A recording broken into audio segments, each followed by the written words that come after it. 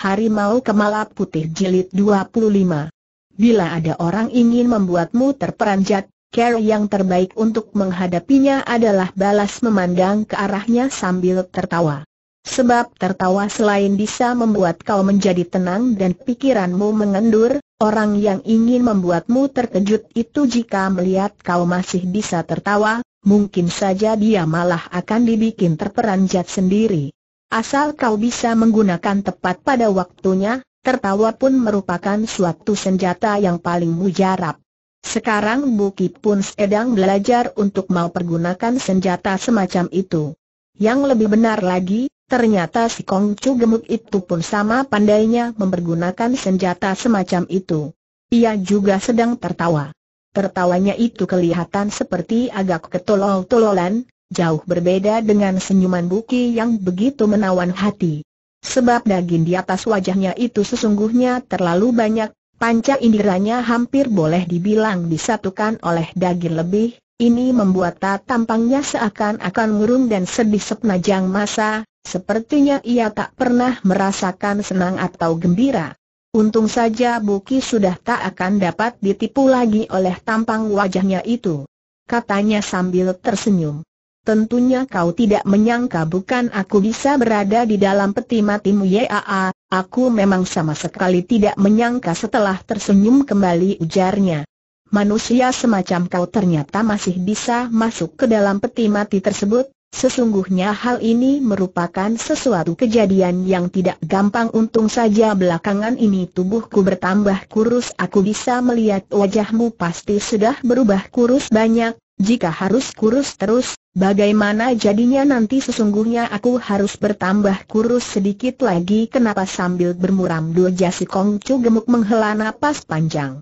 Aaai, karena meski aku bisa masuk ke dalam, ternyata sekarang tak bisa keluar dari sini. Buki memandang ke arahnya dengan wajah menunjukkan simpatik, katanya, sudah barang tentu kau tidak ingin berbaring terus di dalam peti mati itu untuk selamanya bukan Yaa, aku tidak ingin sahut Kongcu gemuk itu segera menggelengkan kepalanya berulang kali.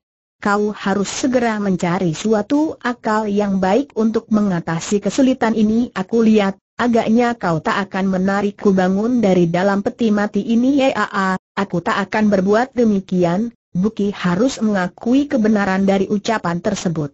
Karena kau takut aku menyergapmu menggunakan kesempatan tersebut Buki kembali mengakuinya. Yaa, seorang harus berhati-hati di dalam melakukan pekerjaan apa pun selama dia masih bisa berhati-hati. Dapatkah kau membantu aku untuk mencarikan suatu akal lain dapat bagaimana caranya? Cepat katakan. Paha ayam itu segera akan habis kau makan, bila kau sudah tidak makan ayam nanti, kau pasti akan menjadi kurus karena kelaparan. Diawasi orang itu atas sampai ke bawah, kemudian dengan wajah gembira ia berkata lagi, kalau dilihat dari bentuk badanmu sekarang, paling tidak harus menahan lapar selama tujuh delapan hari lamanya sebelum dapat merangkak bangun dari situ. Kongcu gemuk itu menjadi ketakukan setengah mati, sambil menunjukkan mimik wajah seakan-akan setiap saat bakal menangis, katanya, kalau harus menahan lapar selama tujuh delapan hari, bukankah aku bakal mati karena kelaparan? Apakah kau tak mampu aku tak akan mampu care semacam itu tak akan mampu kulakukan, kelaparan sehari saja aku bisa gila jadinya. Ditatapnya wajah Buki dengan muka minta belas kasihan, terusnya, bukankah tadi kau masih bilang bahwa kita adalah teman, kau harus menolong aku. Buki menggelengkan kepalanya dan menghela napas. Aku pun sangat ingin menolongmu, cuma sayang aku sendiri pun tak menemukan suatu care yang baik untuk menolong dirimu. Mendadak ia berkeplok tangan sambil tertawa, serunya, ah ah ah ah, aku punya akal bagus, aku masih mempunyai sebuah akal lagi untuk menolongmu. Akal apakah itu? Asal daging badanmu kupotong sedikit saja, niscaya kesulitan ini bakal teratasi. Tapi berapa banyak yang harus dipotong? Seru Kongcu gemuk itu lagi terkejut. Tak usah dipotong terlalu banyak, paling banter cuma 7-80 kaki saja. Agaknya ia sendiri pun merasa care ini paling baik, sehingga tanpa bisa ditahan lagi dia tertawa terbahak-bahak. Belum lama dia tertawa, peti mati itu mulai gemerutukan nyaring. Kemudian, peti mati yang terbuat dari kayu jati itu tiba-tiba hancur berkeping-keping. Buki tak bisa tertawa lagi.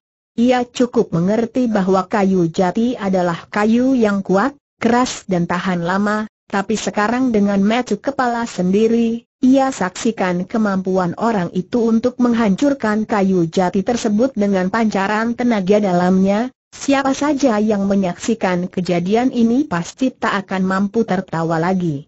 Kongcu gemuk itu pelan-pelan sedang duduk di atas hancuran peti mati itu, kemudian katanya sambil tertawa terkekeh-kekeh. Agaknya aku tak perlu diiris atau disuruh puasa lagi, nasibku benar-benar amat mujur. Sambil berdiri dan menepuk bajunya, dia melanjutkan. Sekarang, agaknya aku harus memperkenalkan diriku sendiri. Sambil menuding hidung sendiri dengan jari tangannya yang gemuk dan putih, dia meneruskan, aku si Tong, bernama Tong Koat. Kejadian masa lalu Tong Koat? Si Kongcu gemuk yang bebal, ketolol-tololan dan selalu bermuram doja itu ternyata bukan lain adalah Tong Koat. Rupanya itu bersih, luas dan udaranya segar. Buki duduk dam di atas sebuah kursi di dekat jendela, tiba-tiba ia berkata, Tong Koat, apakah namamu berasal dari huruf Koat, yang bernama kekurangan? Tepat sekali. Namamu sungguh merupakan sebuah nama yang sangat baik, baiknya bukan kepalang. Waktu itu Tong Koat juga telah duduk. Apabila manusia macam semacam dia itu bisa duduk tentu saja ia tak akan berdiri saja. Sayangnya ia tak sanggup untuk duduk di atas bangku, maka terpaksa ia cuma duduk di atas pembaringan, sambil menyeka keringat dan mengatur napas yang terengah-engah, katanya, sedari dulu kau sudah pernah mendengar namaku Yaa, banyak sekali yang sudah kudengar tentang dirimu, persoalan apa saja? Ada orang berkata, kau adalah salah seorang manusia yang paling menakutkan di antara tong bersaudara, ada pula yang mengatakan kau adalah siluman aneh, sebenarnya aku sama sekali tidak percaya, bagaimana sekarang-sekarang aku sudah percaya, Tong Keat segera tertawa terbahak-bahak, sedemikian kerasnya suara tertawa itu sehingga napas pun ikut terengah-engah. Kembali Buki berkata, Lo Sian Seng yang pura-pura mabuk itu sebenarnya sudah mampu untuk menerima bidikan panah yang dipancarkan oleh Hak Tihan, Kenapa secara tiba-tiba ia melarikan diri? Sebenarnya selama ini pun aku merasa tidak habis mengerti dengan persoalan ini, dan sekarang tanya Tong Keat lagi. Sekarang aku sudah mengerti, kenapa ia melarikan diri sebab walaupun dia tidak terkena anak panah yang dibidikkan oleh Hak Tihan, tapi ia sudah terkena senjata rahasiamu. Oye Ahek Tin Hon memiliki tenaga yang besar dan kuat, Sekali bidik panahnya bisa meluncur dengan disertai desingan angin yang amat tajam. Yaa, tenaga yang dimiliki saudara itu sesungguhnya memang tidak terlalu kecil, Tong Keat membenarkan. Waktu itu, Lo Sian Seng tersebut cuma mendengar desingan angin tajam yang terbawa oleh anak panah tersebut, tapi tidak memperhatikan kalau senjata rahasiamu juga pada saat yang bersamaan dibidikkan keluar, menunggu ia merasakan akan hal ini, keadaan sudah terlambat, Yaa, memang sudah terlambat tentu saja dia pun tahu sampai di manakah kelihayan dari senjata rahasia yang dimiliki keluarga Tong, demi menyelamatkan selembar jiwanya, mau tak mau terpaksa dia melarikan diri. Tong Koat segera menghela napas panjang. Aaai, sayang sekali selembar jiwanya juga mungkin sulit untuk dipertahankan lagi, kau menyuruh Hek Tihan menghadapi mereka, tujuannya adalah membiarkan mereka bertarung sendiri, sementara kau akan menjadi seorang nelayan yang beruntung, Tong Giok adalah saudaraku, kalau aku turun tangan sendiri, mereka pasti akan menggunakan Tong Giok untuk menggertak aku, Terpaksa aku harus menggunakan care ini agar mereka sendiri pun tidak tahu apa gerangan yang sebenarnya telah terjadi, sambil bermuram doja, kembali ia menghela napas panjang, katanya, kau adalah sahabat karibnya Tong Giok, tentunya kau juga harus mengerti akan kesulitan yang sedang kuhadapi. Kau sepantasnya memaafkan diriku, Kau juga tahu kalau aku adalah sahabat karibnya Tong Giok. Tentu saja aku tahu. Kalau bukan sahabat karibnya, mengapa kau mesti bersusah payah untuk mengantarnya pulang sekarang? Tentunya ia sudah kau antar pulang ke benteng keluarga Tong, bukan luka yang dideritanya tidak enteng, aku harus berusaha keras untuk mencari orang serta menyembuhkan luka yang dideritanya itu. Setelah tertawa, katanya lagi, Sebetulnya aku ingin meninggalkan perempuan yang tak suka memakai pakaian itu untukmu, tapi aku tahu kau pasti tak akan mampu untuk menghadapinya, maka terpaksa aku harus menggotong peti mati itu berikut kedua orang tersebut pulang ke benteng keluarga Tong. Kemudian mengganti sebuah peti mati lain kemari.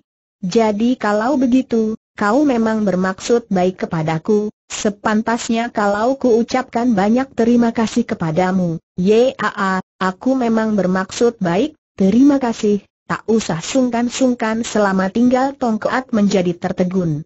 Apa artinya selama tinggal serunya?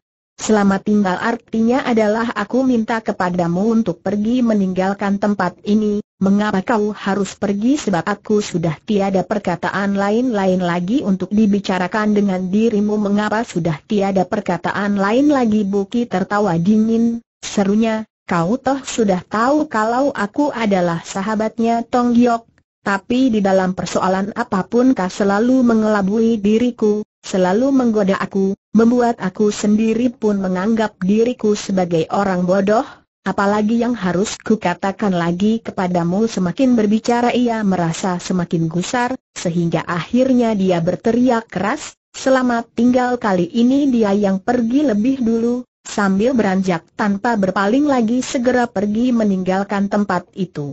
Ranjang sudah barang tentu tak akan diletakkan di depan meja. Sebetulnya Tong Keat masih duduk di atas ranjang, tampaknya untuk berjalan selangkah saja sudah enggan. Tapi, ketika Buki sudah hampir sampai di depan pintu, ternyata Tong Keat sudah berdiri di sana. Sekalipun di sana ada seorang yang bertubuh lebih kurus daripada Tong Keat, Buki pun jangan harap bisa keluar dari sana. Apa arti dari kata selamat tinggal? Tentunya kau cukup memahami, bukan Yaa, Aku merasa paham sekali, kalau toh kau enggan pergi, terpaksa aku yang harus pergi meninggalkan tempat ini, kau jangan pergi dulu, jika kau pergi maka aku bisa payah, kenapa? Sebab nenek moyang kami menyuruh aku untuk membawamu pulang ke rumah, siapakah nenek moyangmu itu? Nenek moyang kami itu adalah nenek Tong Giok, atau ibu dari ayah kami Chiang Bunjin dari keluarga Tong di wilayah Sichuan adalah Tong Chiu. Hok Siu Siang Chuan, rejeki dan umur semuanya sempurna, Tong To Asian Seng, Tong Chiu. Lo Sian Seng ini selama hidupnya jarang sekali berkelana di dalam dunia persilatan, dia pun belum pernah melakukan suatu perbuatan yang menyalahi orang lain, akan tetapi nama besarnya telah termasyhur di seantero jagat. Orang semacam ini tentu saja seorang yang punya hoki, lagi pula seorang yang bisa berumur panjang. Selama hidupnya dia mempunyai tiga orang istri dan mempunyai tiga orang putra, Lotoa adalah Tong Koat, sedang si bungsu adalah Tong Jiok. Masih ada seorang lagi adalah Tong Ou yang beberapa tahun belakangan ini nama besarnya makin lama semakin termasyhur di dalam dunia persilatan. Selama dua tahun belakangan ini, nama besar Tong Ou boleh dibilang hampir sejajar dengan nama besar dari Tong Ji Sian Seng di masa lampau. Sekarang, lambat laun Buki mulai percaya bahwa di antara saudara keluarga Tong, sesungguhnya yang paling menakutkan bukan Tong Wu, melainkan adalah Tong Koat. Kata Tong Koat, selama hidup, orang yang paling kutakuti bukan lain adalah nenek moyang kami itu, kau takut, aku tidak takut, bukankah kau adalah sahabat karibnya Tong Giok tiba-tiba Tong Koat bertanya. Tentu saja bila nenek dari sahabat karibmu ingin bertemu dengan kau, mengapa kau tidak pergi menjumpainya sesudah termenung sebentar? Akhirnya Buki menghela napas panjang. Seandainya dia orang tua benar-benar hendak menyuruh aku ke sana, terpaksa aku harus ke sana juga, tentu saja dia harus pergi, sesungguhnya dia memang akan ke sana, sebab tujuan yang sebenarnya adalah berkunjung ke benteng keluarga Tong. Tadi sebetulnya dia sedang memasang perangkap maju kemudian mundur lebih dulu, sebab berhadapan dengan manusia seperti Tongkoat, tentu saja dia harus menggunakan sedikit akal. Karena itu dia tetap berusaha untuk mendebat, katanya, tapi, aku tak dapat pergi dengan begitu saja pada saat ini, kenapa sebab sekarang, bahkan aku sendiri pun merasa diriku adalah seorang tolol, seorang tolong yang asli akhirnya Tong Koat memahami juga arti dari perkataannya itu, dia berkata, apakah kau menginginkan diriku untuk menceritakan kejadian ini dari awal sampai akhir Buki tidak menjawab. Tidak menjawab biasanya berarti telah mengakuinya. Tong Koat segera berkata, Bukankah peti mati ini kau beli di sebuah toko penjual peti yang memakai mereka Loan Ki benar tahu ke pemilik toko peti mati Loan Ki tersebut bukankah seorang Ciu yang berasal dari Lui Chiu? Benar bukankah dia secara khusus mengirim dua orang putra untuk menghantar peti mati itu ke rumah penginapan yang kau tinggal itu, bahkan membantu dirimu pula untuk membaringkan orang itu ke dalam peti mati, dari mana kau bisa mengetahui tentang soal ini terus terangku beritahukan kepadamu, mereka tidak si Ciu melainkan si Tau. Ciu Tau ke tersebut adalah seorang saudara Tong yang agak jauh dari keluarga kami, mereka semua kenal dengan Teong Geyok, maka begitu kau berangkat mereka lantas mengirimkan berita ini kepadaku lewat burung merpati buki seperti agak tergegun setelah mendengar perkataan itu. Padahal persoalan tersebut adalah diketahuinya sedari dulu. Ciu tahu ke seperti juga si gemuk Siong yang menjual daging, mereka adalah macam-macam keluarga Tong yang semuanya disiapkan di situ. Itulah sebabnya mengapa ia sengaja membeli peti di rumah penjual peti mati tersebut kemudian sengaja membiarkan mereka melihat diri Tong Ciok. Tapi sekarang dia harus memperlihatkan wajah kekagetan yang luar biasa. Sekarang, dia baru tahu kalau dirinya berbakat yang baik sebaiknya untuk bermain sandiwara bahkan dia sendiri pun hampir tidak mempercayainya. Tiba-tiba Tong Koat berkata, kau tahu siapakah Lo Sian Seng yang secara tiba-tiba melarikan diri itu Buki segera menggeleng. Sekarang dia masih dalam keadaan terkejut, sepatah kata pun tak sanggup dia ucapkan, maka dia hanya bisa menggelengkan kepalanya berulang kali. Dia si Sanpe Ong Keat menerangkan. Sekarang Buki sudah dapat berbicara lagi, dia berkata, banyak sekali ornak Sisan di dunia ini tapi pada generasinya nenekku dulu, orang yang paling termasyhur namanya di dalam dunia persilatan adalah orang Sisan. Tapi aku dengar orang yang paling tersohor di dalam dunia persilatan waktu itu bukan Si San melainkan Sili kau maksudkan Xiao Li Tam Hoa benar yang dimaksudkan sebagai Xiao Li Tam Hoa, Li kecil pengintip bunga, adalah Li San Hoan. Golok terbang Sia Uli, tak pernah meleset dari sasaran. Bukan saja dia adalah seorang dewa golok, dia pun dewa di antara manusia. Seribu tahun kemudian mungkin manusia dapat menciptakan sejenis senjata yang jauh lebih cepat, tepat dan dahsyat daripada golok terbangnya Lisan Hoan. Tapi di dunia ini, selamanya tak akan menemukan Xiao Li Tam Hoa kedua. Bayangan dalam benak manusia, selamanya juga tak dapat digantikan oleh orang kedua. Tiongkok tak bisa tidak harus mengakui akan tepatnya pandangan Buki, Siapa pun di dunia ini mau tak mau harus mengakui akan kebenaran ucapan tersebut. Menyinggung soal golok terbang Siuli, bahkan Tongkoat sendiri pun menunjukkan sikap yang sangat menghormat. Sampai saat ini, belum pernah kudengar ada manusia lain yang jauh lebih mengesankan dan jauh lebih terhormat daripada dirinya di dunia persilatan ini tapi di dalam kitab senjata tajam yang disusun oleh Pek Xiao Seng Xiao Liu itu tidak tercantum pada barisan pertama. Tempat pertama diisi oleh Tian Kiet Kun hal ini merupakan kenyataan, Buki tak bisa tidak untuk mengakui kebenaran dari ucapan tersebut. Pek Xiao Seng adalah seorang manusia yang pintar dan tersohor dalam dunia persilatan waktu itu, dia selain cerdik, pergaulannya luas dan lagi pula berpengetahuan luas. Sekalipun ia pernah berbuat suatu kesalahan besar yang tak bisa diampuni di masa tuanya karena kecerdasan yang dimilikinya. Tapi ketika ia menulis kitab senjata tajam, sikapnya sangat adil dan tidak berat sebelah. Oleh karena itu orang persilatan pada waktu itu merasa bangga sekali bila namanya dapat turut tercantum di dalam kitab senjata tajam. Dalam kitab senjata tajam itu, Toya dari Tian Kilojin serta gelang dari Sangkuan Kim Hang berada di urutan atas dari nama Xiao Liu itu. Kemudian meskipun Tian Kilojin tewas di tangan Sangkuan Kim Hang, sedangkan Kim Hang juga tewas di ujung golok terbang Xiao Li, akan tetapi tak ada orang yang beranggapan bahwa urutan nama dari Pek Xiao Seng itu tidak adil. Sebab unsur paling penting yang menentukan menang kalahnya suatu pertarungan, bukanlah pada ilmu silat belaka, tapi situasi, keadaan, kondisi badan serta perasaan mereka pada waktu itu, juga merupakan unsur penting yang menentukan kalah menang mereka. Tian Kilojin Si Sang kata Tong Koat, Lo Sian Seng yang pandai berpura-pura mabuk itu adalah keturunannya.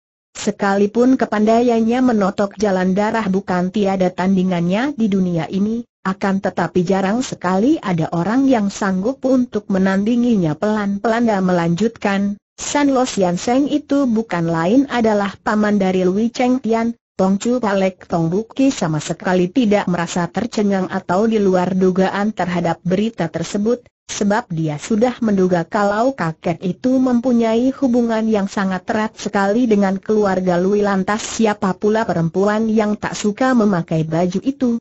Tentunya kau lebih-lebih tak akan bisa menduga oh ya dia bukan lain adalah istri Lui Cheng Tian yang lama berita ini memang sedikit di luar dugaan. Setelah kukatakan kalau dia adalah bekas istrinya Lui Cheng Tian, Tentunya kau lantas beranggapan bahwa Lui Cheng Tian telah memberi pensiun kepada istrinya, karena dia hendak mengawini adik perempuanku yang cantik jelita itu bukan kata Tong Koat. Memangnya bukan Tong Koat segera menggelengkan kepalanya berulang kali. Sejak lima tahun berselang, Lui Cheng Tian telah memberi pensiun kepadanya. Waktu itu kami malah sama sekali belum menyinggung soal perkawinan tersebut mengapa Lui Cheng Tian memberi pensiun kepada istrinya itu tanya Buki. Tong Koat menghela napas panjang. Jika seorang lelaki hendak memberi pensiun kepada istrinya, tentu saja dia mempunyai banyak alasan yang tak bisa diterangkan kepada orang lain, kalau dia sendiri tidak menerangkan, Bagaimana mungkin orang lain bisa mengetahuinya kemudian sambil memicingkan matanya, dia melanjutkan. Tapi aku rasa kau pasti dapat melihatnya sendiri, Louis Hujin yang sudah dipensiun itu bukanlah seorang perempuan yang setia. Bila sampai mengawini perempuan semacam ini sebagai istrinya, jelas itu bukan suatu kemujuran agaknya Buki tak ingin membicarakan terus tentang persoalan ini, kembali dia bertanya, Apakah keinginannya untuk berkunjung ke benteng keluarga Tong adalah untuk pergi mencari Lui Cheng Tian sejak meninggalkan Lui Cheng Tian, kehidupannya di luar tidak terlalu baik, maka dia ingin ke sana untuk memberi kesulitan kepada Lui Cheng Tian setelah menghela napas panjang, dia melanjutkan, semua perempuan di dunia ini adalah sama saja, bila kehidupannya sendiri kurang baik, maka dia pun tak ingin menyaksikan kehidupan orang lain dilewatkan dengan baik. Padahal seandainya dia sudah kawin lagi dengan seorang suami yang berkenan di hatinya, sekalipun Lui Cheng Tian belutut sambil memohon kepadanya, belum tentu dia akan memperdulikan Buki tidak membantah. Perkataan tersebut bukannya sama sekali tak beralasan, sekarang Lui Cheng Tian sudah menjadi menantunya keluarga Tong kami kata Tong Keat, dia pun merupakan cucu mantu paling disenangi oleh nenek kami, tentu saja kami tak akan membiarkan orang lain memberi kesulitan baginya setelah berhenti sebentar, lanjutnya lagi dengan hambar, apalagi belakangan ini dia sudah tinggal di dalam benteng keluarga Tong, entah siapa pun itu orangnya, jika dia berminat untuk mencari gara-gara di dalam benteng keluarga Tong, maka dia pasti sudah salah mencari tempat itu pun merupakan suatu kenyataan. Nama besar benteng keluarga Tong dari wilayah Sichuan, sudah amat termasyur dalam dunia persilatan, sekalipun orang yang bermaksud mencari gara-gara itu bisa masuk dalam keadaan hidup, belum tentu ia bisa keluar lagi dalam keadaan hidup pula.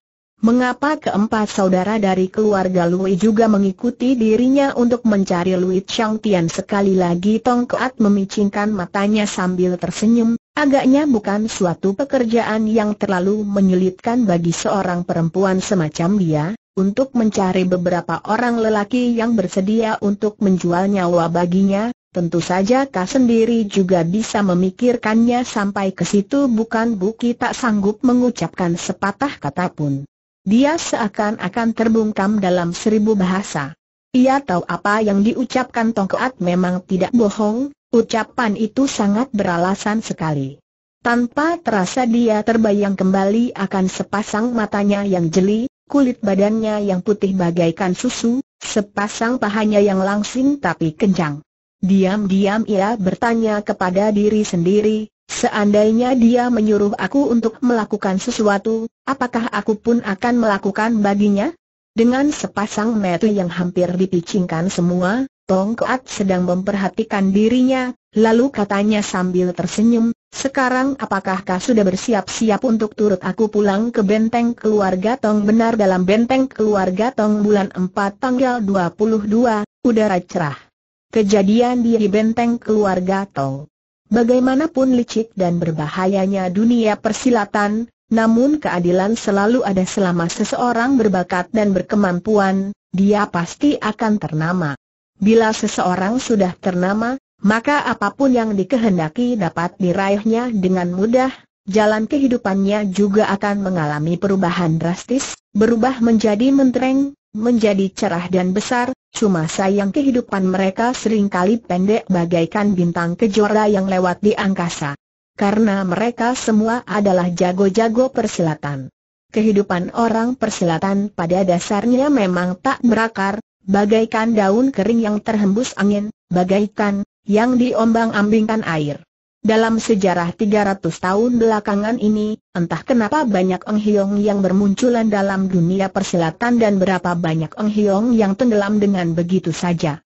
Di antaranya tentu saja ada sementara orang yang kehidupannya kekal dan abadi, mungkin dikarenakan semangat mereka tak pernah mati, meski badan sudah mati semangat tak pernah mati.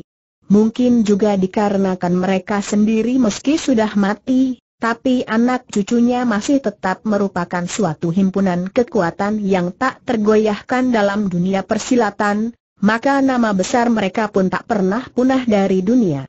Selama 300 tahun ini, kekuatan yang masih bisa berdiri utuh dalam dunia persilatan tanpa tergoyahkan selain Partai Xiaolin, Butong, Kunlun, Tiam Chong dan Hong Tong beberapa partai persilatan yang bersejarah cemerlang, masih ada pula beberapa buah keluarga persilatan yang besar. Di antara keluarga-keluarga persilatan ini meski di antaranya karena leluhur mereka mengorbankan diri demi keadilan dan kebenaran dalam dunia persilatan sehingga mendapatkan rasa hormat orang lain terhadap mereka, tapi sebagian besar adalah disebabkan karena mereka sendiri memiliki semacam kemampuan dan kepandaian silat yang luar biasa dan tak terkalahkan, maka mereka tetap bertahan dalam dunia ini tanpa tergoyahkan. Di antaranya ada yang tersohor karena ilmu pertabibannya yakni Tio Kian Kai, ada yang tersohor karena ilmu dalam airnya Tian Hai Tong, ada pula keluarga Lam Kiong yang mempunyai kekayaan luar biasa, ada pula Gao Hao Ufang Keh, keluarga Fang, yang hebat karena ilmu goloknya, juga Pek Klek Tong yang tersohor karena ilmu senjata apinya. Di antara keluarga-keluarga persilatan kenamaan ini, yang paling besar kekuatannya dan paling tersohor namanya, tentu saja keluarga Tong dari Provinsi Sichuan. Senjata rahasia dari keluarga Tong amat tersohor dalam dunia persilatan, hingga kini belum ada senjata rahasia kedua yang bisa menggantikan kedudukan ini. Semua anak keturunan keluarga Tong yang melakukan perjalanan dalam dunia persilatan, Semuanya merupakan jago-jago yang disegani orang. Benteng keluarga Tong yang berada di bawah bukit di luar kota Gisia tersebut, setelah melalui pembangunan selama banyak tahun, dari beberapa petak rumah biasa, kini telah berkembang menjadi sebuah kota kecil. Di tempat ini, dari sandang pangan sampai hiburan ada secara komplit, bahkan termasuk juga penguburan atau perkawinan, setiap benda dapat diperoleh di sana, Setiap benda bisa didapatkan secara berlimpah, hal mana sedikit banyak mengejutkan juga orang banyak. Yang lebih hebat lagi, rumah makan yang paling tersohor di wilayah Sichuan, toko kain yang paling modern dan toko kelontong yang paling lengkap, semuanya dapat ditemukan dalam benteng keluarga Tong. Semua anak cucu keluarga Tong hampir seluruhnya memiliki kepandaian yang khusus, dengan menggunakan kemampuan sendiri mereka mencari uang lalu dihamburkan kembali di toko-toko tersebut. Semua kekuatan, semua kemampuan, harta kekayaan hanya terbatas boleh beredar di sekitar wilayah itu saja. Hari berganti hari, tahun berganti tahun, tentu saja benteng keluarga Tong makin lama semakin makmur, makin lama semakin bertambah besar dan megah. Akhirnya Buki sampai juga di benteng keluarga Tong. Anehnya, ia sama sekali tidak merasa gejolak emosi yang hebat atau perasaan tegang yang luar biasa. Di dunia ini sebetulnya memang ada sejenis manusia yang semenjak dilahirkan sudah cocok untuk berpetualangan, menyerempet bahaya, di hari biasa mungkin tidak akan tegang dan gelisah bila menghadapi urusan kecil, tapi bila sudah berjumpa dengan bahaya yang sungguh, mereka sebaliknya malah berubah menjadi tenang. Kebetulan Buki adalah manusia semacam ini. Cuaca amat cerah, bukit berderet nan hijau, bangunan rumah yang berlapis-lapis dan genteng yang berwarna semu hijau tampak memanjang dari kaki bukit sampai tengah bukit sana. Berdiri memandang tempat Buki berdiri sekarang, Siapa saja pasti akan terpesona oleh pemandangan alam yang sangat indah itu. Alam yang indah dapat memberikan perasaan megah, mentereng dan puas bagi siapa pun yang melihatnya. Itulah benteng keluarga Tong Tong Keat menerangkan. Nadanya penuh dengan rasa bangga dan angkuh. Coba kau lihat, bagaimana dengan tempat ini Buki segera menghela napas panjang. Aai, betul-betul luar biasa pujinya. Ucapan tersebut benar-benar muncul dari dasar hatinya. Cuma dikala mengucapkan kata-kata itu, dalam hatinya segera timbul perasaan ngeri yang dalam. Sekalipun dia tak pernah menilai rendah musuhnya, tapi kehebatan dari musuhnya terbukti jauh di luar dugaannya semula.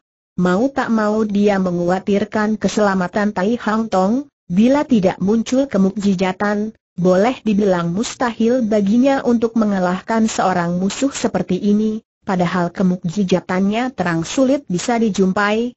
Di ujung jalan sana adalah pintu gerbang keluarga Tong, masih bercat biru dan cat itu belum kering. Setiap tahun sebelum sembahyang bakcang, kami selalu mengecat kembali pintu gerbang ini Tong Keat menerangkan.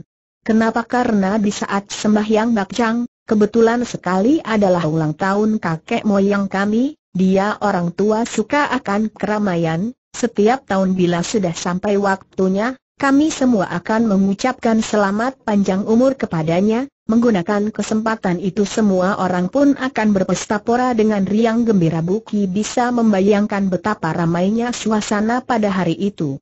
Biasanya di hari keramaian seperti ini setiap orang pasti akan mengendorkan kewaspadaannya pada diri sendiri, mereka pasti akan berusaha untuk mencari kesenangan, mencari kenikmatan dan minum-minuman sampai mabuk dan tak dapat dihindari lagi. Asal ada kembang api, ada sandiwara opera, ada arak, tiga macam kesenangan tersebut, pasti pula akan terjadi keteledoran. Bila mereka sampai teledor, itu berarti suatu kesempatan yang sangat baik buat Buki untuk beraksi.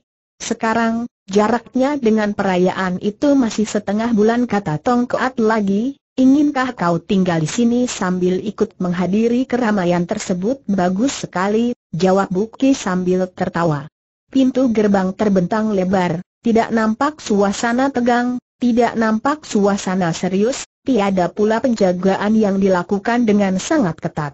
Setelah memasuki pintu gebang, maka mereka menelusuri sebuah jalan raya beralaskan batu hijau yang rapi dan bersih, setiap batu hijau tersebut seakan-akan disikat sampai berkilat seperti cermin. Di kedua belah sisi jalan terdapat beraneka ragam toko dan warung, bangunannya rapi dan mentereng, barang jualannya komplit dan selalu kelihatan penuh.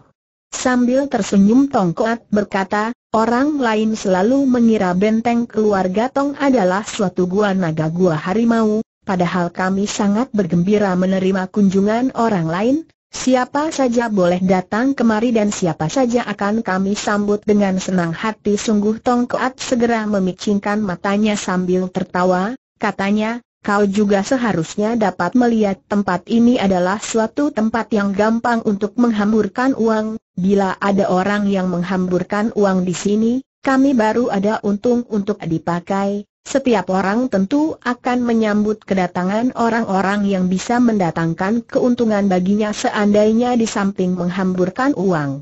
Mereka juga ingin melakukan perbuatan yang lain hal itu tergantung pada perbuatan apakah yang hendak dia lakukan seandainya datang untuk mencari gara-gara. Tempat kami pun tersedia toko penjual peti mati, bukan saja barangnya murah, kadang kala bahkan gratis tanpa dibayar setelah tertawa, Kembali katanya, tapi selain peti mati, setiap barang yang dijual warung-warung di sini tidak murah harganya, kadang kala kami sendiri pun kena digorok harganya oleh mereka. Buki dapat melihat satu hal, setiap barang yang dijual di warung-warung tersebut, hampir seluruhnya adalah barang-barang yang berkualitas tinggi. Para pemilik dan pelayan toko semuanya menyambut di luar pintu dengan senyuman di kulum apalagi ketika melihat kedatangan Tong Keat dari kejauhan, mereka menyapa bahkan menunjukkan sikap yang hangat, ramah dan kegembiraannya yang tak terlukiskan dengan kata-kata. Buki segera tersenyum, katanya, aku lihat setiap orang yang berada di sini seakan-akan pada suka dengan Tong Keat menghela napas panjang. Aaai, Kau keluru kalau berkata demikian gumamnya. Sengaja dia merendahkan suaranya lalu berbisik. Mereka bukan suka dengan diriku, mereka hanya suka dengan uang dalam kocekku, bila kau menginginkan seseorang mempersembahkan seluruh isi koceknya kepadamu, maka kau harus menunjukkan dulu sikap gembira dan senangnya kepada orang itu tampaknya dia mempunyai hubungan yang cukup baik dengan semua orang di situ. Toko yang paling bagus, paling mentereng dan paling anggun di antara deretan toko itu adalah toko penjual benda antik serta bedak dan gincu, pada hakikatnya jauh lebih besar daripada Peosik K di ibu kota. Dua buah tandu besar berhenti di luar pintu yang terdiri dari enam buah itu, Seorang lelaki muda yang sangat tampan dan memakai topi kecil berwarna hijau dengan menggunakan dialek yang halus sedang menyapa ke arah Tongkoat. Agaknya dialek yang paling sering digunakan di tempat ini adalah dialek ibu kota yang halus, terutama sekali pelayan-pelayan toko, hampir tak pernah terdengar dialek dari wilayah secuhan sendiri, pada hakikatnya berjalan-jalan di sepanjang jalan raya tersebut, bagaikan sedang berjalan-jalan di ibu kota.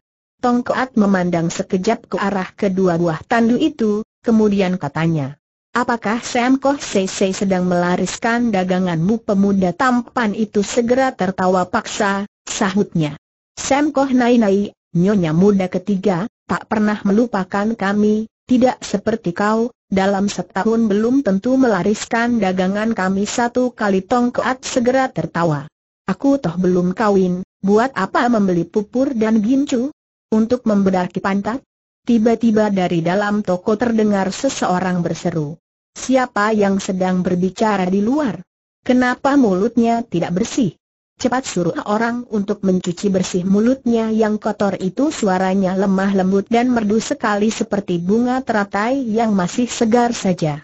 Tongkoat segera menjulurkan lidahnya dan tertawa getir, buru-buru serunya, aduh celaka, rupanya kali ini aku sudah mencari gara-gara dengan sarang lebah kali ini ia benar-benar merendahkan suaranya, karena ia benar-benar tak berani mengusik Koh Nai Nai tersebut.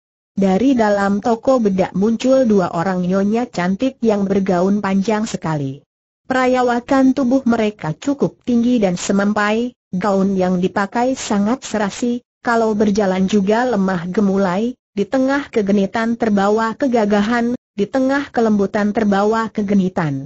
Yang berjalan di paling depan itu berusia agak tua, kulit badannya putih bersih, matanya berbentuk bulat telur dan tampak beberapa titik burik di atas pipinya yang halus, sepasang matanya yang jeli dan bersinar tajam itu kelihatan bening dan sangat menarik sekali.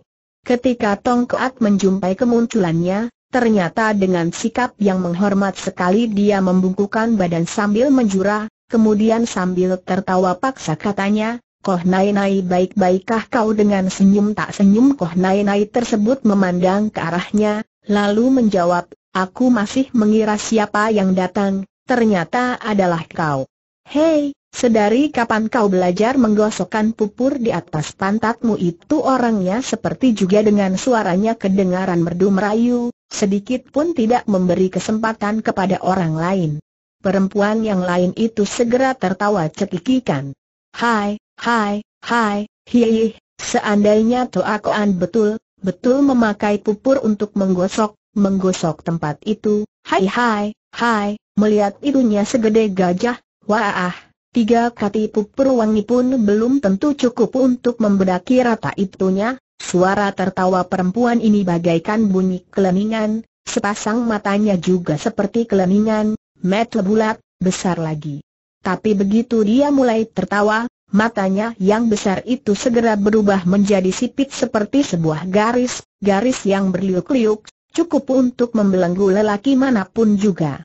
Selama berada di hadapan mereka, Tong Koat berubah menjadi alim sekali, bukan cuma alim, malah kelihatan ketolol-tololan. Dia selalu tertawa kebodoh-bodohan, kecuali tertawa kebodoh-bodohan, tak sepatah kata pun yang diucapkan. Buki juga tertawa. Dia tak pernah menyangka kalau dalam benteng keluarga Tong masih terdapat perempuan yang begitu menarik dan begitu menawan hati. Walaupun perempuan bermata segede keleningan ini masih kecil usianya, Sesungguhnya juga tidak terlampau kecil, kelihatannya mirip sekali dengan seorang nona cilik, seorang nona cilik yang setiap orang merasa ingin menciumnya bila bertemu dengannya. Koh Nai Nai itu lebih menarik lagi. Walaupun dia tak bisa dibilang terlalu cantik, tapi ia periang, segar cemerlang, bagaikan sebiji buah pir yang baru dipetik dari atas pohon. Lagi pula mereka pun pandai sekali melihat gelagat, mereka sama sekali tidak memberikan suatu kejelekan buat Tongkoat.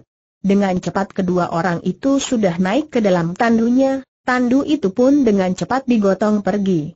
Menanti tandu-tandu itu sudah jauh dari pandangan mata, Tongkoat baru menghembuskan napas lega, kemudian sambil menghela napas katanya, tahukah kau, Siapakah Koh Nai Nai itu? Tidak tahu dia adalah musuh tandinganku. Kau takut kepadanya bukan cuma takut saja, orang yang tidak takut kepadanya dalam benteng keluarga Tong ini boleh dibilang cuma beberapa gelintir manusia saja, ia kelihatannya tidak begitu menakutkan, mengapa kalian jare kepadanya?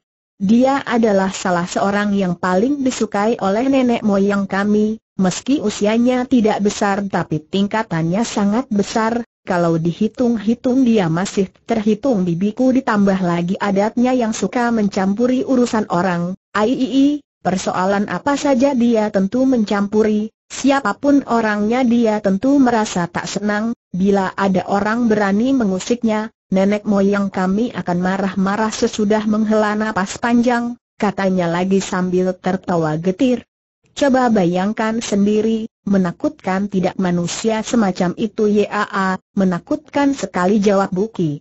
Untung saja dia toh akan kawin juga siapa yang berani kawin dengan manusia yang begitu menakutkan itu sebenarnya sih tak ada yang mau, tapi akhirnya toh ada seorang juga yang mau siapa aku tak boleh bilang cuaca hari ini sungguh nyaman kata Buki kemudian.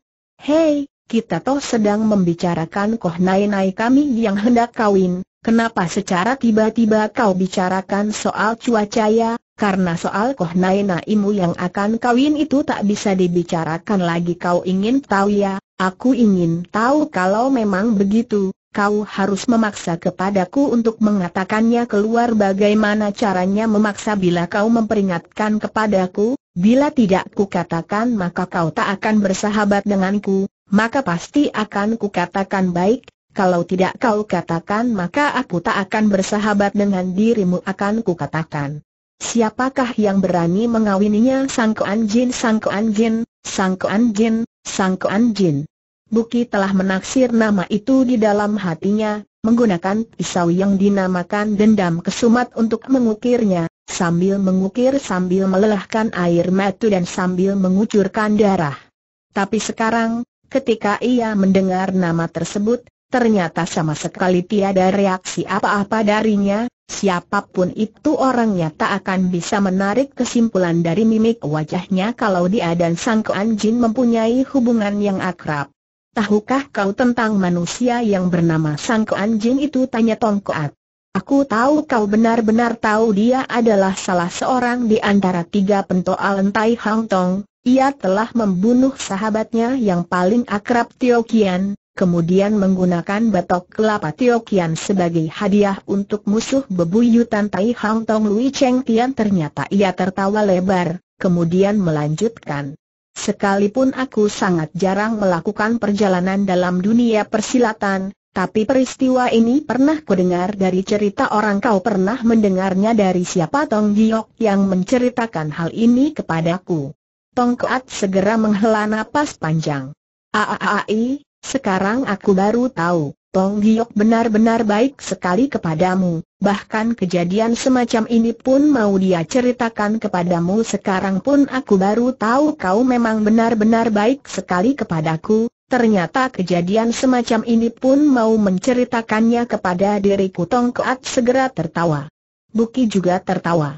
Tahukah kau di dalam benteng keluarga Tong, selain dia masih ada seorang Xiao Koh Nai Nai lagi tanya Tong Keat. Tidak tahu Xiao Koh Nai Nai itu pun sama saja suka mencampuri urusan orang, dia juga merupakan seorang musuh tandinganku. Mengapa kau takut kepadanya? Sebab dia adalah adik perempuanku seorang kakak takut dengan adiknya, kejadian ini bukan suatu kejadian yang aneh, memang banyak kakak yang takut dengan adiknya. Tentu saja hal ini bukan dikarenakan adiknya benar-benar menakutkan, melainkan karena adiknya itu binal dan sukar dikendalikan. Untung saja adikku ini pun sudah kawin dengan orang ujar Tong Keat lebih jauh. Kawin dengan siapa Lui Cheng Tian? Lui Cheng Tian adalah musuh bebuyutannya Tai Hang Tong, Lui Cheng Tian adalah majikannya Pak Lek Tong. Dendam kesumat antara Sang Kuan Jin dengan Buki adalah dendam yang lebih dalam daripada samudra. Sekarang, walaupun Buki belum bertemu dengan mereka, tapi tanpa disengaja telah bertemu dengan istri-istri mereka. Ternyata ia merasa bahwa mereka amat cantik dan menarik hati. Sikap mereka terhadap dirinya ternyata aneh sekali. Kedua orang itu menatapnya beberapa kejap, kemudian saling berpandangan pula dengan suatu sinar mata yang sangat aneh. Akan tetapi mereka sama sekali tidak bertanya kepada Tong Koat siapakah orang itu. Apakah mereka sudah mengetahui dengan jelas tentang dirinya? Sesaat sebelum pergi, adik Tongkoat bahkan masih sempat memandang ke arahnya sambil tertawa, sepasang mata besarnya yang indah kembali berubah menjadi sebuah garis yang berliuk-liuk, seakan-akan hendak membelenggu hatinya. Gadis yang begitu muda, dengan sepasang mata yang besar dan jeli, sesungguhnya tidak cocok buat Lui Cheng Tian, Sebab bagaimanapun juga Lui Cheng Tian sudah tua. Dalam Tai Hang Tong tentu saja terdapat pula bahan data mengenai Lui Cheng Tian, seingat Buki, tahun ini agaknya dia telah berusia 58, 9 tahunan. Ia bisa mengawini seorang istri muda yang cantik dan menarik semacam ini sebetulnya merupakan kemujuran baginya atau bukan? Tanpa terasa Buki teringat kembali akan Michi. Mendadak ia teringat kembali akan banyak urusan, baru saja dia akan memecahkan persoalan itu satu demi satu, mendadak ia mendengar suara bunyi keleningan yang sangat memekikan telinga. Ketika ia mendongakkan kepalanya, maka terlihat serombongan burung merpati. Langit nan biru, burung merpati yang putih dengan keleningan berwarna emas yang menyilaukan mata. Setiap ekor burung-burung merpati itu semuanya memakai keliningan emas, serombongan burung merpati sedang terbang di angkasa nan biru dan terbang menuju ke tengah bukit. Suasana di atas jalan raya mendadak terjadi kegaduhan, setiap orang berlarian keluar dari dalam toko dan memandang rombongan burung merpati itu sambil bersorak-sorai.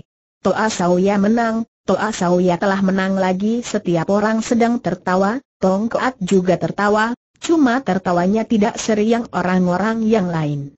Agaknya Bukit telah menaruh perhatian ke situ, segera dia bertanya dengan cepat, yang dinamakan Toa Sauya itu sebetulnya Toa Sauya yang mana tentu saja Toa Sauya dari keluarga Tong, Tong Aku adanya. Kalau dia adalah Toa Sauya, maka bagaimana dengan kau aku adalah Toa Koan.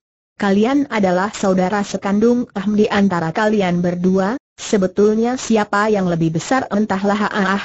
Masa sampai kau sendiri pun tidak tahu sebab ibuku mengatakan akulah yang lahir terlebih dahulu, tapi ibunya mengatakan dia yang lahir lebih dulu. Sebenarnya siapa yang lahir lebih duluan tak akan seorang manusia pun yang tahu, tapi siapa pun enggan menjadi loji, maka dalam keluarga Tong pun terdapat seorang Toa Sauya dan seorang Toa Koan setelah memicingkan matanya dan tertawa, dia melanjutkan, kalau ayahmu juga mempunyai beberapa orang istri, kau akan tahu dengan sangat jelas sesungguhnya apa yang telah terjadi di balik senyumannya itu seolah-olah terdapat sebatang jarum. Sebatang jarum yang tajam sekali. Buki tidak bertanya lagi. Ia sudah menyaksikan hubungan yang serba bertentangan dan retak di antara mereka berdua, dan penemuan itu sudah membuatnya merasa puas sekali. Burung merpati telah terbang kembali, itu menandakan kalau ia berhasil menang lagi dalam pertandingan kali ini kata Tong Koat, secara beruntun berhasil menang empat kali dan mengalahkan empat orang jago pedang kenamaan dari dunia persilatan. Sesungguhnya kejadian ini memang patut digirangkan, patut dirayakan empat orang jago pedang kenamaan dari dunia persilatan. Siapa-siapa sajakah mereka? Pokoknya ilmu pedang mereka sangat lihai, Namanya juga amat tersohor dalam dunia persilatan, kalau tidak juga tak akan sampai Toa Sauya dari keluarga Tong turun tangan sendiri. Ada dendam sakit hati kehantara dia dengan keempat orang itu tidak ada. Lantas kenapa ia pergi mencari mereka? Karena dia ingin agar orang lain tahu anak cucu keluarga Tong belum tentu harus mengandalkan senjata rahasia untuk meraih kemenangan. Senjata apakah yang dia pergunakan untuk meraih kemenangan itu dengan pedang setelah berhenti sebentar, dengan hambar dia melanjutkan, hanya menggunakan pedang untuk mengalahkan jago pedang kenamaan baru bisa memperlihatkan kelihayan atau asal ya keluarga Tong yang sesungguhnya, lihaikah ilmu pedang yang dimilikinya Tong Koa tertawa, Kau juga menggunakan pedang, katanya, tunggu saja sampai dia pulang, kemungkinan besar dia pun akan mencarimu untuk beradu ilmu pedang. Waktu itu kau baru akan tahu sampai di manakah taraf kehebatan ilmu pedang yang dimilikinya itu. Buki juga tertawa, katanya, Aaai, kelihatannya, jalan yang terbaik bagiku adalah tidak tahu untuk selamanya. Baru saja burung-burung merpati itu terbang di angkasa, Sao Peo teman Tong yang ganteng dan gagah itu sudah menampakkan batang hidungnya di sana. Ia sudah balik ke benteng keluarga Tong lebih dahulu, sudah jelas pulang sambil mengawal peti mati yang berisikan Tong Giok serta Mici itu. Dengan langkah lebar dia berjalan mendekat, wajahnya tampak giruang dan penuh bersemangat, seakan-akan sedang menghadapi suatu kejadian besar yang pantas untuk dirayakan. Dari tempat kejauhan, ia sudah mulai berteriak-teriak dengan suaranya yang lantang. Kiong Hi, Kiong Hi, kejadian ini sungguh merupakan suatu peristiwa besar yang patut diberi salam, pantas diberi ucapan selamat Tong Keat melirik sekejap ke arahnya dengan ujung mata yang tajam, lalu katanya. Kemenangan yang berhasil diraih Toa Sauya dari keluarga Tong, apa pula sangkut pautnya dengan dirinya sama sekali tak ada sangkut pautnya lantas apa yang kau girangkan tegur Tong Koat dingin. Aku sedang merasa gembira bagi Sam Sauya dari keluarga Tong Sam Sauya dari keluarga Tong adalah Tong Chiok. Luka yang dideritanya telah berhasil disembuhkan nenek moyang, sekarang ia sudah dapat bangun untuk minum jinsom seorang teman Tong Giok sudah dapat minum kuah jinsom. Bila seseorang sudah dapat minum kuah jinsom sendiri, tentu saja dia pun bisa juga membicarakan persoalan. Bila banyak persoalan telah dia katakan, maka selembar nyawa Buki sudah pasti akan melayang. Tapi Buki sama sekali tidak merasa terkejut, atau panik atau gugup, peluh dingin pun tak mengucur keluar, ternyata dia sama sekali tidak memberikan reaksi apa-apa, seakan-akan kejadian ini tak ada hubungan dengannya. Tong Koat kembali melirik ke arahnya dengan ekor matanya yang tajam, tiba-tiba ia berkata, Tong Giok adalah sahabat karibmu benar sesudah tahu kalau sahabat karibmu sembuh dari lukanya, Mengapa kau tidak nampak gembira barang sedikit pun juga? Aku merasa gembira sekali baginya tapi kenapa tidak kulihat tanda-tanda di atas wajahmu itu? Sebab, aku pun sama seperti kau, bagaimanapun gembiranya dalam hati atau bagaimanapun takutnya, orang lain tak akan bisa melihatnya dengan begitu saja sekalipun hatimu merasa takutnya setengah mati, wajahmu tetap tertawa, sekalipun aku tertawa dengan riang gembira, belum tentu hatimu merasa amat gembira tepat sekali Tong Koat segera tertawa, tertawa terbahak-bahak. Haaah, haaah, haaah, aku paling suka dengan manusia semacam ini, di kemudian hari kita pasti akan menjadi sahabat karib, belum pasti tukas buki. Kenapa sebab aku pun seperti kau, dikala bibirku mengatakan pasti, belum tentu hatiku sungguh-sungguh berpikir demikian di mulut tak mengatakan belum pasti mungkin kau telah menganggap diriku sebagai teman karibmu belum pasti sekali lagi Tongkoat tertawa terbahak-bahak, haaah, haaah, haaah, sungguh tak kusangka, kecuali aku di dunia ini ternyata masih terdapat manusia semacam kau Buki tidak tertawa. Ada sementara orang harus memegang peranan seseorang yang selalu tertawa, setiap waktu setiap saat harus tertawa, tapi ada juga yang harus memegang peranan tidak terlalu sering tertawa. Menunggu Tongkoat telah selesai tertawa, pelan-pelan Buki bertanya, sekarang, apakah kau sudah dapat membawaku menjumpai Tong Giok dari balik sinar mata? Tong Koat yang penuh senyuman segera memancar sinar yang lebih tajam daripada semilu, katanya kemudian. Inginkah kau pergi menjumpainya Buki tidak menjawab, sebaliknya bertanya, bila ia tahu aku telah datang, mungkinkah ia akan menyuruh kalian membawaku untuk menjumpainya dia pasti ingin sekali bertemu denganmu Tong Koat harus mengakui akan hal itu. Maka dari itu, sekalipun aku benar-benar tak ingin berjumpa dengannya, mau tak mau juga harus pergi menjumpainya ya, tepat sekali tiba-tiba ia tertawa lagi, tambahnya, padahal orang yang menunggu untuk berjumpa dengan dirimu bukan hanya satu orang saja selain dia masih ada. Siapa lagi masih ada? Seorang teman, seorang teman yang sangat baik. Teman siapa temanku? Kalau memang temanmu, kenapa ingin berjumpa denganku? Sebab dia kenal denganmu dari balik matanya terpancar sinar mata yang tajam seperti jarum, sambil menatap bukit tajam-tajam, sepatah demi sepatah terusnya, walaupun kau tidak kenal dengannya, justru dia kenal dengan dirimu, jalan raya itu panjang sekali. Di ujung sana merupakan sebuah ruang pemujaan yang anggun dan mentereng, di belakang ruang pemujaan merupakan sebuah hutan yang rindang dan hijau. Dari balik dedaunan yang rimbun, kelihatan ujung dinding sebuah bangunan. Mereka semua sedang menantikan kedatanganmu di sana kata Tong Keat lagi. Yang dimaksudkan mereka adalah Tong Giok dengan temanmu itu benar dari awal sampai sekarang, dia tak pernah menanyakan asal-usul Buki, bahkan menyinggung soal itu pun tak pernah. Mungkinkah hal ini disebabkan temannya itu telah membeber asal-usul Buki kepadanya? Maka sekarang dia merasakan tiada suatu kepentingan untuk ditanyakan kembali? Paras mukanya tak pernah berubah, dia selalu tertawa, karena dia tidak boleh menimbulkan kewaspadaan Buki, sebab itu pula dia baru akan mengikutinya datang ke sana. Datang untuk menghantar kematiannya. Siapakah temannya itu? Apakah dia benar-benar mengetahui asal, usul Buki? Sekarang, semua persoalan sudah tidak terlalu penting lagi, sebab Tong Giok telah bangkit kembali dari kematiannya tentu saja Tong Giok mengetahui siapakah Buki itu. Sekarang, Buki seharusnya juga tahu, asal dia melangkah masuk ke dalam bangunan loteng itu, maka dia akan mati di situ, mati dalam keadaan mengenaskan. Dia seharusnya cepat-cepat mengambil tindakan untuk melarikan diri dari sana. Entah sekarang apakah dia masih punya kesempatan untuk kabur atau tidak, paling tidak dia harus mencobanya dulu. Sebab, bagaimanapun juga berbuat demikian masih ada kesempatan untuk meloloskan diri. Tapi ia tidak kabur, bahkan paras mukanya sama sekali tidak berubah. Dia seakan-akan merasa rela untuk mati di situ. Hutan yang hijau dan rimbun dengan sebuah bangunan loteng kecil yang tenang dan anggun. Musim semi pun sedang menjelang tiba.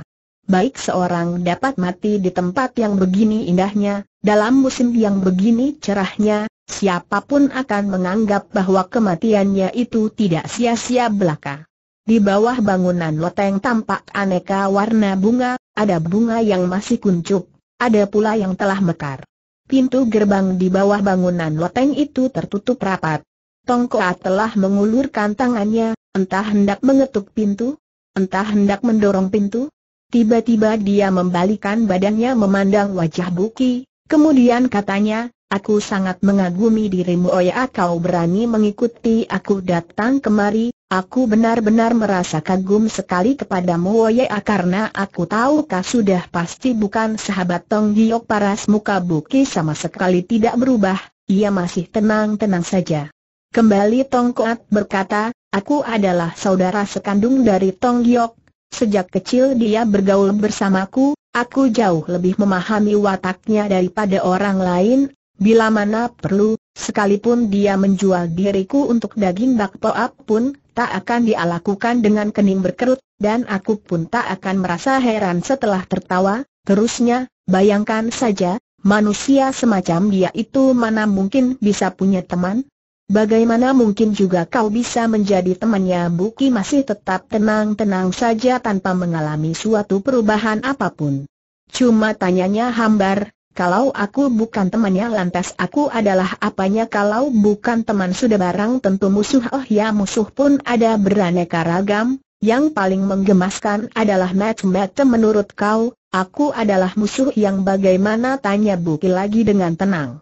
Kau adalah musuh dari jenis yang paling menggemaskan itu sesudah menghela napas, terusnya, seorang macam-macam ternyata berani datang kemari, mau tak mau aku harus merasa kagum kepadamu.